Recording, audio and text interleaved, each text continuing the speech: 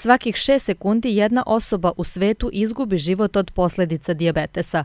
Dobrom prevencijom je moguće smanjiti rizik od nastupanja ove bolesti za više od 50% kod dijabetesa tipa 2. Ipak u Srbiji sa njom živi oko 750.000 ljudi dok se procenjuje da polovina njih to ni ne zna. Bolest koja e, je znak da je pankreas ovaj, oslabio.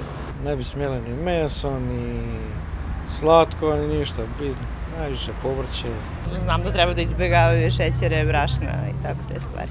Savjetovališta za diabetes od nedavno su vraćeno domove zdravlja i Srbija je po tome jedinstvena u regionu. U internističkoj ambulanti u Nove Pazovi od 1. aprila svakog ponedeljka savjetovanje će obavljati doktori i specijalisti interne medicine. Savjetovalište su praktično produžena ruka lekara i struke gde jednostavno ljudi nemaju dovoljno vremena i možda ne mogu da se sete e, svega kada dođu e, kod svog specijalista endokrinologa da ga u tom momentu tu pitaju.